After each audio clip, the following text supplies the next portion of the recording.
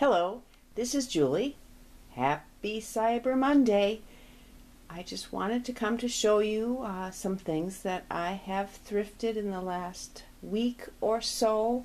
I did work uh, the holiday weekend, Friday included, so I did hop over to some Goodwills on Friday for 50% off and sp- spent most of the evening doing that. And then my daughters had us over for pizza, so it was a great day. I found this vintage tea towel. I just thought it was too cute. And actually, there's some of these online as well, or at least similar. And then I just basically got some of my, I guess, bed and butter type items that I sell quite frequently. This is Waverly Valance. I have sold that pattern before.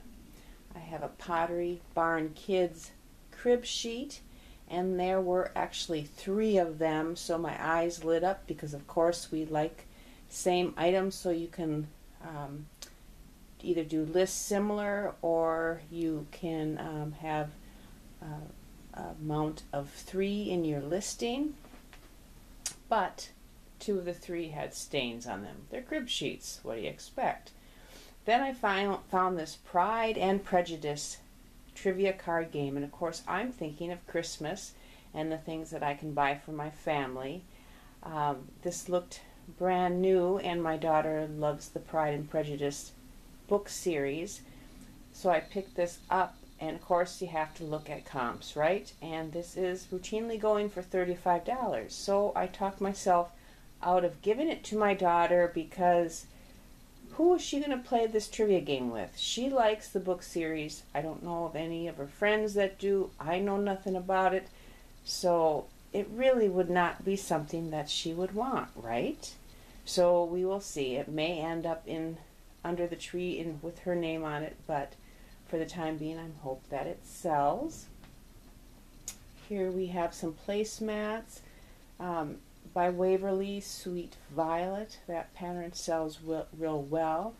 I have a pillowcase that says um, Vera on it and it's not Vera Wang and it's not Vera Bradley. It's uh, I think it's a vintage. Um, I have a scarf by her. I think it's from like the 60s or such. I have to look into that more. Then I have some Pottery Barn pillowcases, shams.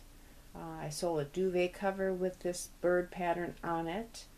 And then on top there is a Pottery Barn embroidered pillow sham. I did get a few pieces of clothing. This is a biking shirt, and I forget what the the name brand right now, but it has a scorpion on it, and they'll sell relatively well. I did get a box of cards. Um, I thought they were Christmas cards. They um, have a winter scene on them. Well, I guess it does have a Christmas tree in the background, but it's Ziggy.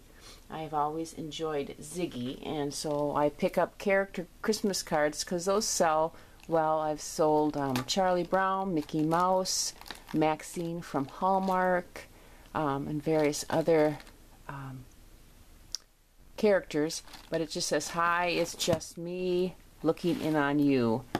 I might just have to keep keep that, but we'll see. And then I found uh, is it Hilo? Hilo Hattie 3X dress, new with tags. So I am hoping that that is a winner. and then I found a robe. Actually, my daughter found it, and I asked her if she still needed a robe. She said yes. She said, like that pink one over there. So I grabbed it. It was new with tags, Laura Ashley. I said, mm, Maybe not. I'm sorry. When I can go to thrift store and find a few robes that she likes, why would I sell a Laura, Laura Ashley new with tags? Or why would I give that to her when I could sell it? But again, it might end up under the tree with her name on it. And then back here is um, LL Bean 1X robe. I have been selling robes and nightgowns plus sizes and they do well. Here is another kind of like a house dress nightgown. It is a 3X. And then um, this is a Spyder. I believe it's sports athletic wear and they do quite well. And then I found there were several of them and if these sell I might go back and see if I can forget the other ones but they are a bunch of new with tags plaid vintage pants. And the tad tan one above has some wool in it so that would even be good to sell now. This one is more of a lightweight summer pant but I know I've heard tell of hipsters and whatnot that like that style and what better can you get than new with tags? Uh, these are an average size. One is 36 34 and the other one's 34 38 maybe. So those will be interesting to see. I found some Harley shirts and I just picked up one. Mainly I know a lot of the shirts have destinations on them and this was Cherokee Iowa which may not be a hot spot but I thought the subject matter of uh, showing some um, Native American type icons and a wolf. I thought that might be appealing and it has a nice pattern on the back as well. One of my scores, if you can see them, are Harley Davidson boots and the Goodwill had marked them for $49.99 and this was color tag sale. So I got these for $1.99. So I don't have to sell them for much to make some money, but I'm looking forward to seeing what I can get out of these. They're ten and a half, so a nice size. They have a um, stock number inside, so I was able to look them up and even find the the uh, model name of them, which hopefully will be helpful because there's a lots of different styles of Harley Davidson boots. So I was happy to get that. And then there is this if you can ignore the bright colored blazer behind it, it is a Denim Supply by Ralph Lauren, and it is um, both the front and the back have some flag on them. Now I don't normally spend 750. Woo, I know it was 15. I got it for half price. But I have been finding men's unique coats and they have been selling for quite some, you know, quite well. And so um, there have been a few of these that have sold, and they go for upwards of a hundred dollars. So this, I believe, is a extra large, but just a really um, nice coat.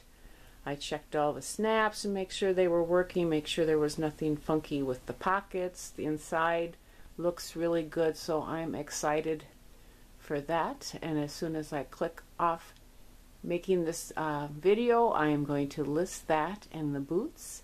So those are a few of the things that I have collected over the last week or so. And I have been, um, speaking of the Harley Davidson boots, over the weekend I sold three pair of boots. So I think people are getting ready for winter for sure.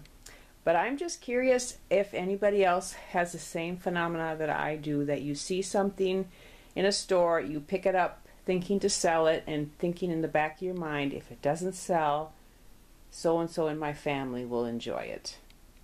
I have to admit, it makes purchasing much more easy because you can't lose. If it doesn't sell, it makes a ready made gift. So I pray that you are all doing well, listing, selling, and thank you so much to the selling community here on YouTube. We'll talk to you later. Bye.